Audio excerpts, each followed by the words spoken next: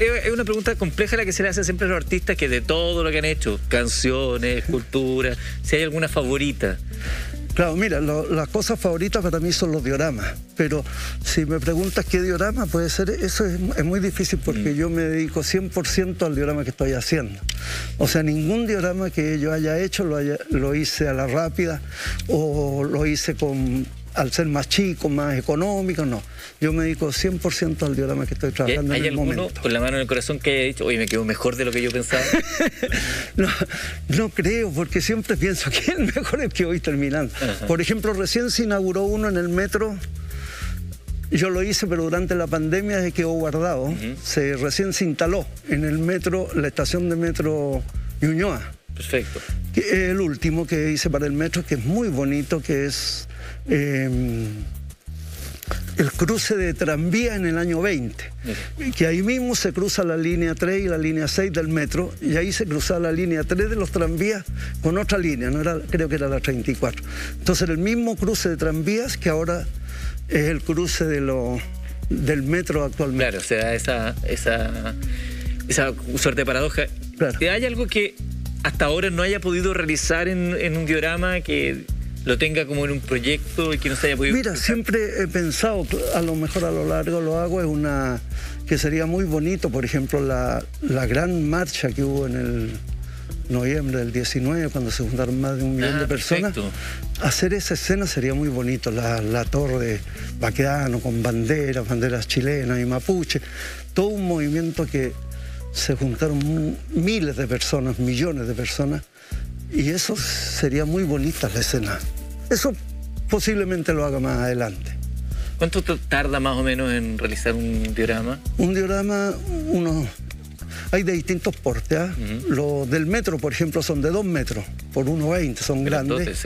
Eso me demora unos 4 o 5 meses por cada diorama. Ahora hay dioramas grandes como el de el Abrazo Maipú, de la Plaza Maipú, que tiene 3 metros por 2 metros de alto y las figuras son de 40 centímetros de alto, mucho más grandes. Entonces se me demoró 8 meses, me demoré en hacerlo. Me llamó la atención que le hacían encargo personas y le decían, mire, me gustaría hacer un diorama.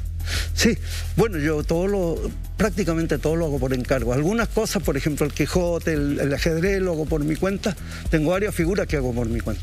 Pero la mayoría de mi trabajo es por encargo. Por ejemplo, una municipalidad, me llaman de la municipalidad para un museo, para cosas así, y quieren tal diorama. Entonces ahí empezamos a conversar, yo le presento dibujo, un presupuesto. ¿Y particulares también?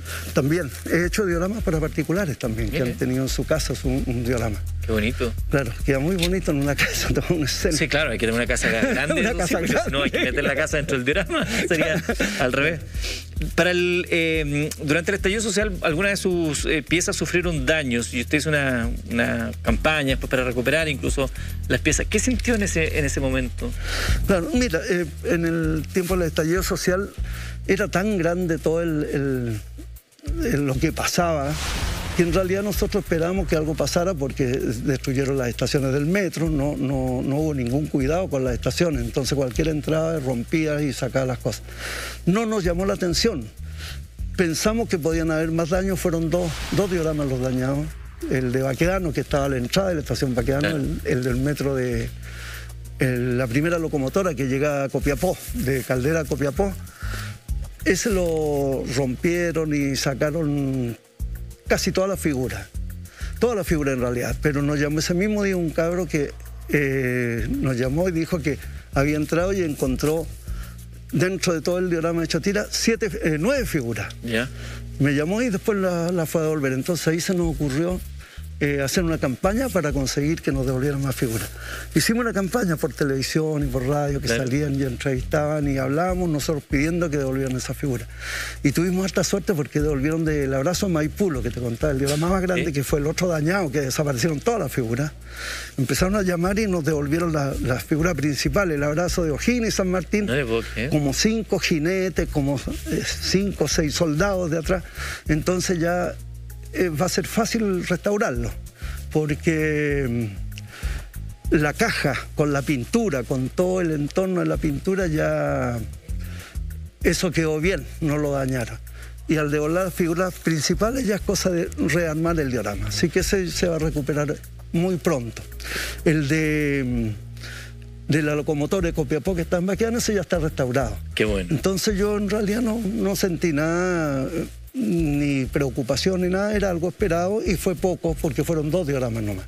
Si usted alguna vez eh, no ha tenido la oportunidad de ver un diorama, les invito a que los vea. Esta sensación de este fondo curvo, pintado, y cuando uno se pone como al nivel de los personajes, la sensación de estar ahí inmerso es muy, es muy especial, es muy bonito lo que se produce con eso, que ahí contábamos en la nota que usted lo vio en el Museo de Nueva York y ahí claro.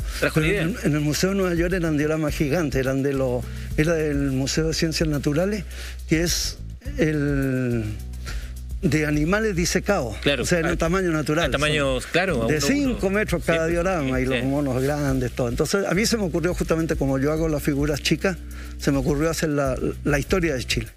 Pero ahí en el Museo de Historia Natural, cuando yo fui, hace en el año 75, por ahí, no, en el 78, habían seis dioramas. Recorrimos todo, pregunté, habían seis dioramas, uno de un gorila, otro de unos alces, los cerros. Ahora hay más de 60. Han hecho libros, han hecho más de 60 dioramas en ese museo.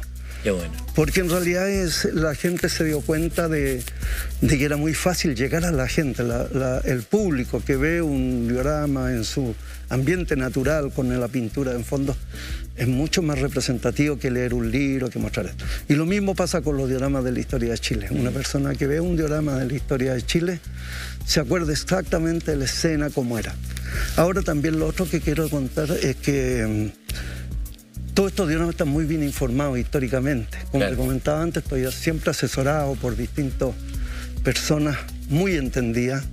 Entonces, eh, no, en ningún caso hay una, un invento o que se salga de la historia o que falte. Es fidedigno, total. Claro, porque no sacaríamos nada con que sea tan bonito y no, sea claro. ¿Qué hace un extraterrestre y no tiene nada que ver? Hay que darle el... Claro, y la época, las ropas, lo, que usaba la gente, los carros que se usaban, los, los autos. ¿Le ha pasado alguna vez que le digan eh, eso, esos zapatos en esa época no o algo así? No, no. Y yo los dioramas al público ya tienen 40 años, no, 38 años los más antiguos lo de la Casa Colorada en 42 años, se inauguraron en el 79, 78, 79 lo hizo y el 81 se inauguró el museo. El Museo de la Casa Colorada fue el primero que hice, esos dioramas que están mostrando ahora son del museo. Fue los primeros que hice hace 41 años y ahora se restaura el museo completo, va a ser uno de los más modernos de Chile, el museo más moderno de Chile, y tengo todos los dioramas en mi casa que lo estamos restaurando. de hecho que atrás estamos viendo algunas de las figuras, al, al, estar ampliada se ve que Claro. este es el recibimiento de un gobernador en mil, 1667. Pero miren el detalle del, caballo, el niño colgando de la carreta. y, y se va riendo, claro. No es que, no es, una cara anodina. Es el terremoto de Santiago de 1647, el terremoto de mayo. Mira, este diorama es bien especial porque es uno que restauramos para el metro que se instala. Ah, ya lo pasamos. lo pasamos. Era Pedro de Valdivia en conversaciones con los caciques Inca y Mapuche. Con eso tuve toda la asesoría, cómo eran los incas y cómo era la construcción inca que había en Santiago. Ahora es una historia nueva. Empezó el 2011, el 2012, ya se publicó, se, se aceptó históricamente que era una aldea inca, inca, donde se instalaron los españoles. Oiga, y a propósito de pueblos originarios, tengo acá un tablero de ajedrez precioso que muestra justamente los, nuestros pueblos originarios y los españoles. ¿Cómo surge esta, esta idea ¿no? de, buscar un símil entre las figuras del ajedrez tradicional y, la historia? Claro, mira, eh, yo en ese tiempo jugaba ajedrez, hace muchos años que ya no juego, entonces eh, es fácil eh, hacer el símil. Por ejemplo, el, ajedrez típico es el, clásico, son las torres, los caballos, el alfil era el consejero del rey eran como los alfiles, eran como los obispos, consejeros del rey. La reina, el rey, los caballos. Entonces los reemplacé, pues la torre española, un caballo español, un curita como consejero, de los reyes. Y el caballo y los peones guerreros. Igual que Allá, bandido el... Carebandido el curita. era. Viene a la repartición. claro. Y algo, algo sabía. a, eso venía. Y acá los españoles reemplazó una ruca por la torre, caballo, que ya, ya empezaron con los caballos. El alfil es un machi, una machi, que es consejero del rey también. Entonces equivale, equivale lo mismo acá a los, a los mapuches, a los españoles y al ajedrez original. y los peones, los guerreros. yo estoy mirando acá de cerca, por ejemplo, a los peones, que son los guerreros españoles allá, que es notable porque son piezas hechas de uno, ¿no? Pero las hace muy similares. Esa es la gracia del, del ajedrez. Claro. La gracia es hacerlo lo más parecido posible, te fijas, porque son piezas de ajedrez.